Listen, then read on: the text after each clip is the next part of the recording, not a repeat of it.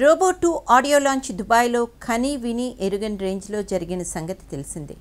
ఒక south Indian film ఇంత గ్రాండ్గా విదేశాల్లో ఒక ప్రోగ్రాం చేసుకోవడం అనేది ఇదే మొదటిసారి. స్కై డ్రైవ్ చేస్తూ మరీ పోస్టర్ రిలీజ్ చేయడం చూసి మతులు పోగొట్టుకొని వాళ్ళు లేరు.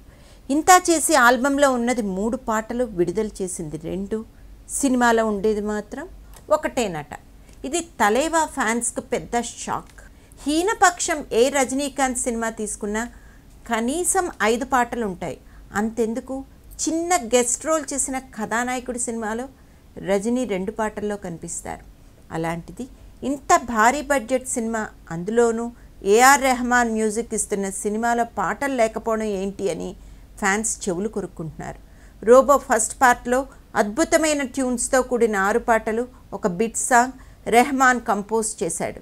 అవి సినిమాకు ప్లస్ అవ్వడమే కాకుండా శంకర్ కూడా వాటిని రిచ్గా తెరకెక్కించి సూపర్ అనిపించాడు.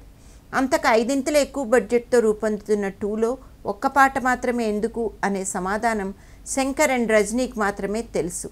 అందిన సమాచారం మేరకు ఈ సినిమాలో చిట్టి రోబో పాత్రే ఎక్కువసేపు ఉంటుందట.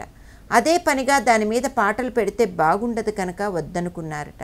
దానికి తోడు రజనీకున్న అనారోగ్య పరిస్థితుల దృష్ట్యా శారీరక శ్రమ ఇవ్వకూడదు అనే నిర్ణయం తీసుకున్నారట. హీరోయిన్ ఆమీ జాక్సన్ రోబో పాత్రనే చేస్తోంది. చిట్టీకు గేలం వేయడానికి విలన్ అక్షయ్ కుమార్ ఆమీ రోబోను తయారు చేయిస్తాడు. కానీ అనూహ్యంగా ఆమీ రోబో చిట్టి వైపు తిరిగి హెల్ప్ చేయడంతో కథ మలుపు తిరుగుతుందని టాక్. ఒక్క పాటే ఉన్న సినిమా మూడు గంటల దాకా వచ్చిందని తెలిసింది. ట్రిమ్ ఏమైనా చేస్తారేమో సెన్సార్కి వెళ్ళాకే తెలుస్తుంది.